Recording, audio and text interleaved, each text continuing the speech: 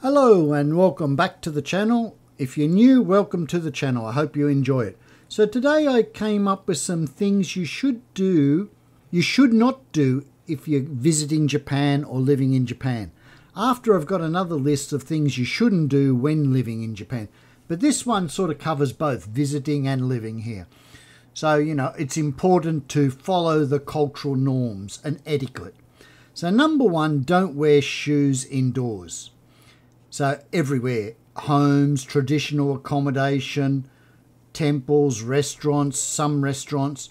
So, it's considered unclean to wear your shoes indoors. Instead, you should use indoor slippers. Most places provide these. Number two, don't speak loudly in public, like on public trains, buses, and public spaces. Japanese people value quietness in public.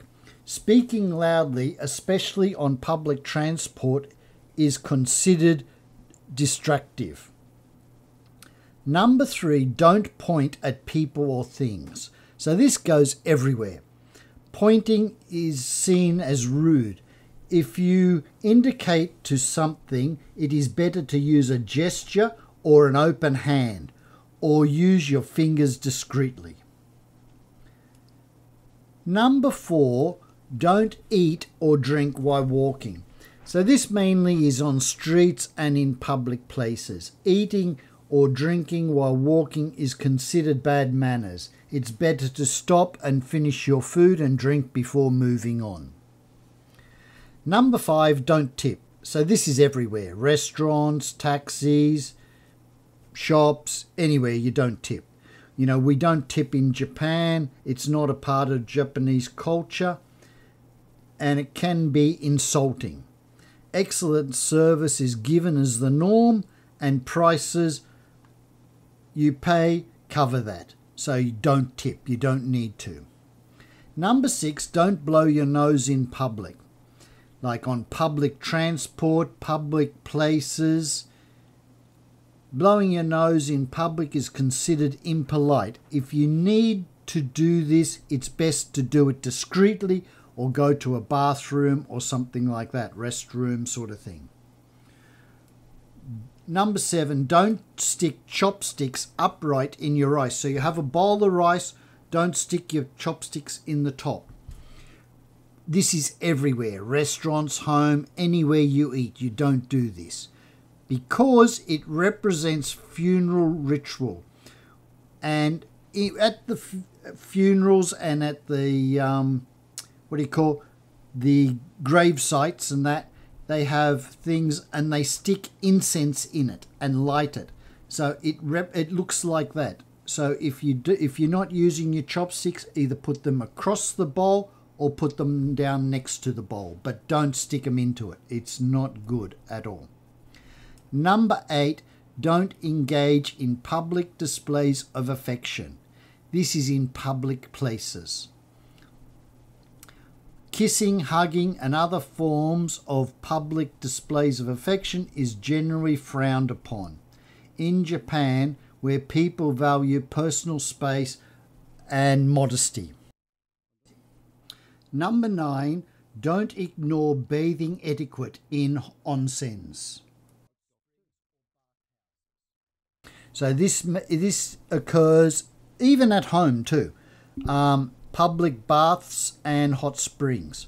So before you enter a onsen or a bath, you always wash outside and rinse yourself off. You do this at home too. Before you have a bath, you always wash your body and rinse yourself off before you enter the bath.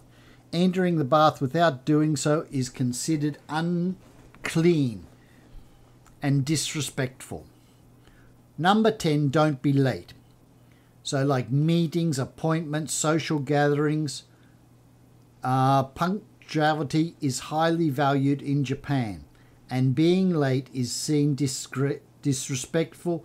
Always aim to arrive a few minutes early. My wife is always late, so this doesn't always occur. Anyway, that's it. Now, I've got another 10, so we're going to go through them in a second. Okay, now these ones mainly are for if you are living in Japan. So, number one, don't ignore social hierarchy. Japan has a social place, a strong hierarchy sort of thing, respect for elders and that sort of thing. So, at work, social gatherings, meetings, and thing, it is important to be aware and respect these hierarchies.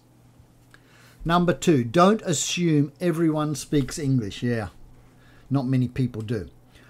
While English is taught in schools, not everyone is comfortable speaking. Making an effort to speak Japanese, even basic phrases, is appreciated and helps everyone. Number three, don't fail to separate your trash. So we have to do this all the time.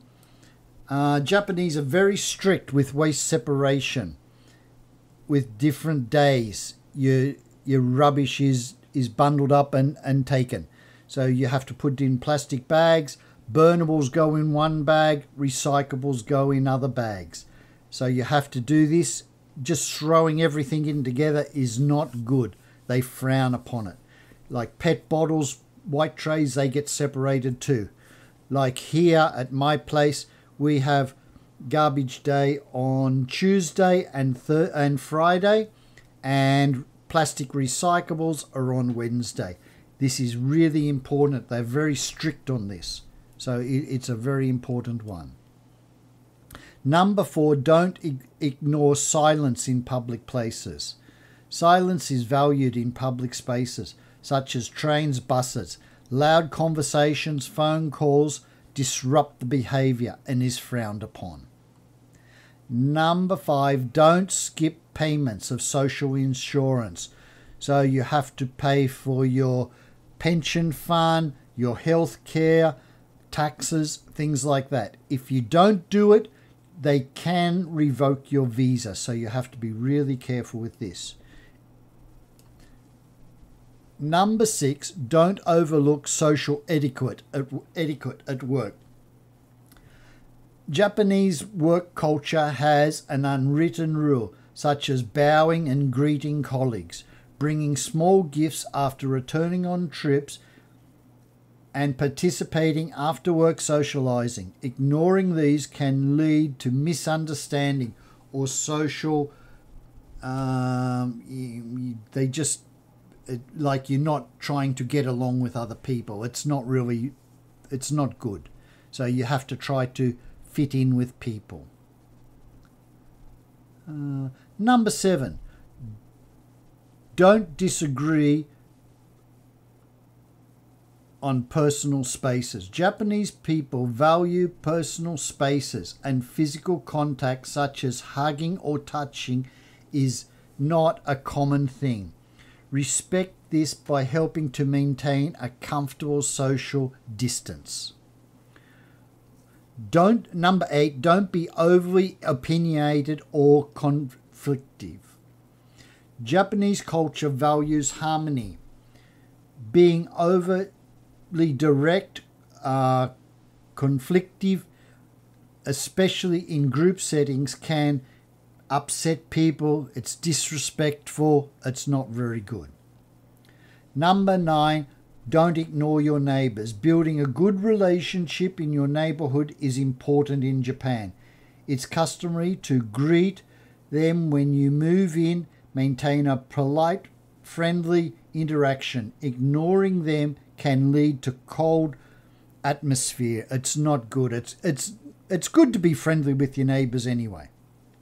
And last one is like we did before in number one don't forget to take your shoes off. This goes beyond homes, many workplaces, clinics, schools, even some restaurants require you to remove your shoes and wear slippers. So this is just something you do. Um, just becomes second nature after a while. When you go into a place, you just take your shoes off. Feels a bit funny now if I don't do it.